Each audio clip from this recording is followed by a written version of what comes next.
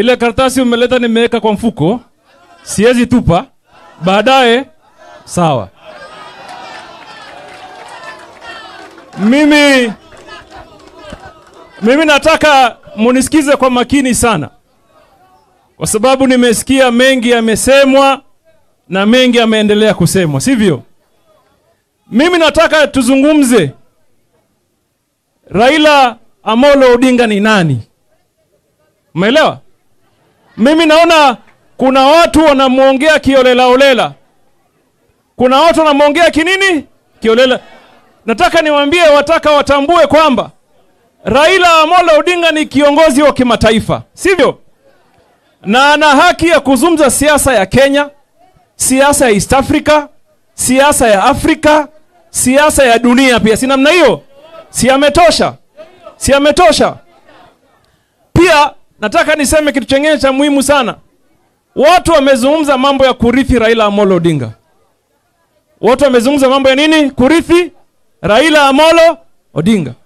Ile mimi nataka kusema hapa kama Hassan Ali Joho, ile kitu ambaye mimi narithi kwa Raila Amolo Odinga is the ideology ambaye amenifundisha kwa miaka yangu ya siasa, mawazo, mienendo, mwelekeo na uthabiti na ujasiri na usimba wa siasa, si ndio?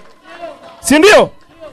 Watu wajue baba hakuna mali anaenda, baba anaenda hadi, si ndio? Si huyu baba ni life member wa ODM, si ndio? Yeye member number one wa maisha wa ODM ni nani? Raila Amolo, na atabaki kuwa katika chama cha ODM.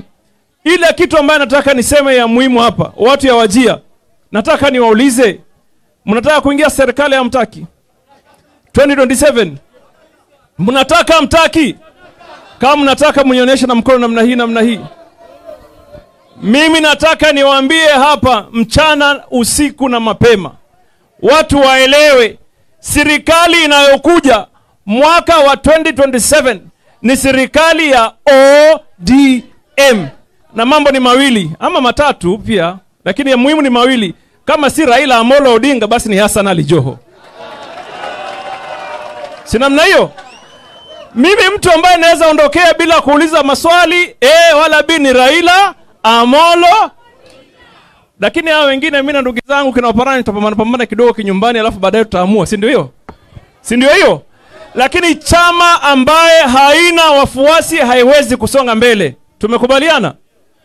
Wanawajia, mtajiandikisha kwa chama cha ODM, mtajiandikisha. Ya mwisho, sitaki kusema sana kwa sababu baba ataongea hapa. Mimi nataka niwaambie, mimi kama Hassan Ali Joho, tangu niingie siasa, tangu niingie nini siasa, hakuna uamuzi wa kisiasa nilifanya bila kumhusisha, kumjulisha na kuelepata uelekezo kutoka kwa Raila Amolo Odinga. Kuna watu wengine wanauliza sasa, oh, gavana umerudi, ulikuwa umepotea. Hakuna step that I took without the knowledge of my party leader Raila Amolo Odinga. Tumeelewana hapo? Na mimi msinichezee, mimi nikileta noma ni noma. Tumeelewana? Nikileta noma ni nini?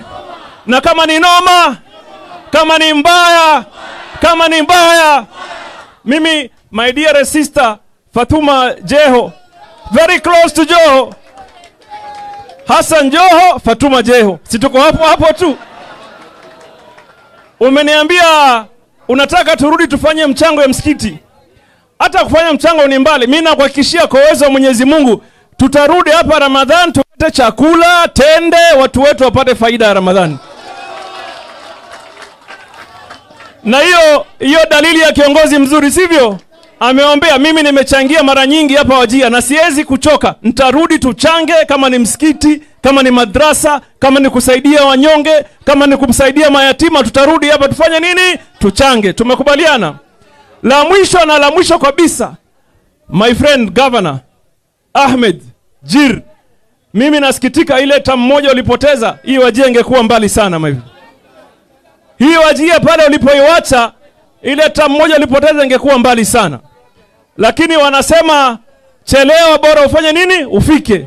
Si Ahmed amerudi, si kazi anafanya, si anaendelea kufanya, na akimaliza hapa tutashikana mkono na yeye twende katika siasa ya kitaifa. Atakuwa mtu mmoja muhimu katika serikali ya 2027 serikali ya chama cha ODM. Tumekubaliana? Wale ambao wanasema ODM wenue mkono, tuone namna hii namna hii namna hii. Wale ambao wanasema Raila Odinga ni kiongozi wa kimataifa wainue mkono namna hii namna hii. Wale ambao wanasema wamepatia Raila ruhusa na baraka ya kwenda kutafuta kiti cha AU mwenyekiti wa commission wainue mkono namna hii namna hii. Basi sina haja kusema zaidi hapo, wacha nialike my brother Wycliffe Ometsa Oparanya aje aseme mambo machache. Karibu bro.